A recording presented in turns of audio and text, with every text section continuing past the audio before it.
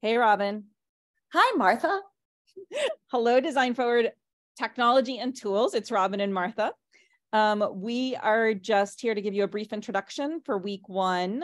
Um, you are in the right place if you are a participant in Technology and Tools Design Forward Module Spring 23. Thank you for being here.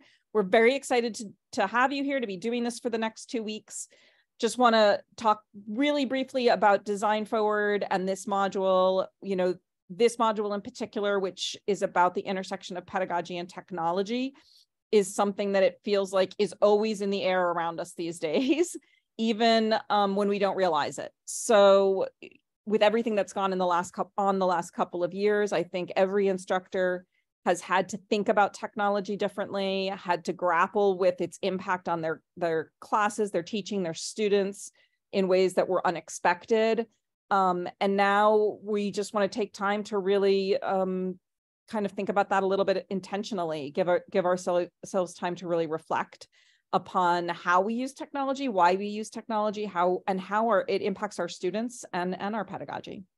Yeah, so, I love that word intention. I think as I was thinking about this module, that's just the key one that lights up in my brain.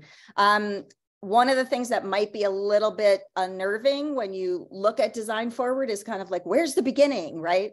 Um, so it's important to understand that this is a non-linear experience and everybody in a kind of choose your own adventure model will move through it a little bit differently. Um, so really the the key thing is to look at what captures your attention and just start there whether uh, that's with a reading or looking at some of the questions that are posted. Um, I, I think the readings are always a nice way to start because they give you some content that you can that you can latch onto.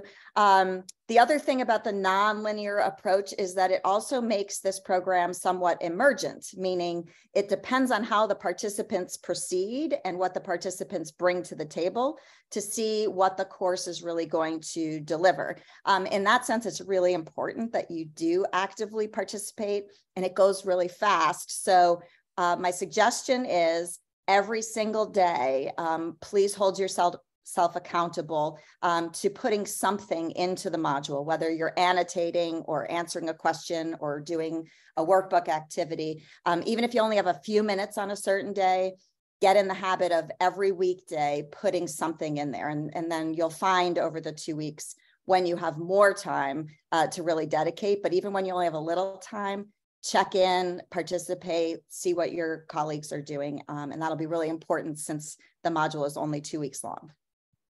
Yeah, so you'll be hearing from us on Monday. Wait, you've already heard from us on Monday.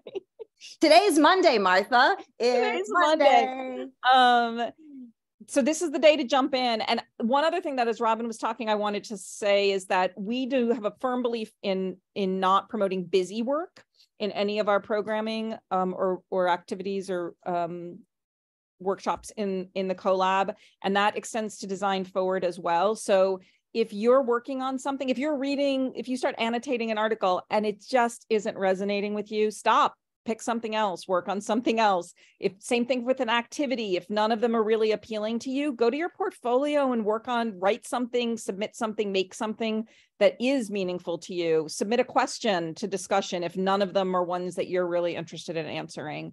We really want this to be meaningful and impactful for you um and the end, yeah you, I, I think I was supposed to say this in my part, so I'm going back yep. to say that at the end of Design Forward, um, you'll be asked not only to evaluate the program, which is really important. Design Forward was partially invented by your colleagues um, through the course of their participation, uh, but we will also be asking you to evaluate your um, your participation in the module. So that's when you'll really get a chance to reflect on what you learned. Um, and it's really important that you don't feel like you just jump through a bunch of hoops. So actively work to figure out what work is meaningful to you. And all along the way, if you have questions, problems, need help, um, the Teams channel is a great place to go. That way, everybody benefits from the answers there. But you also are always welcome to send an email to Robin or me um, and let us know what you need. We'll get back to you as quickly as we can other than that, we will see you around the Design Forward website and um, have fun. Cheers, everybody. Bye.